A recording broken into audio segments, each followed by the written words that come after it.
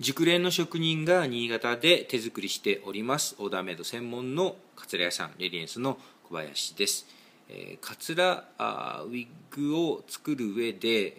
えー、熟練の職人を育成していくというのは非常に大事なことなんですけれども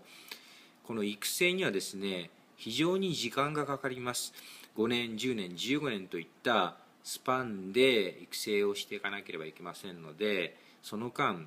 時間とですね、え、それに伴ってコスト費用が相当かかってきます。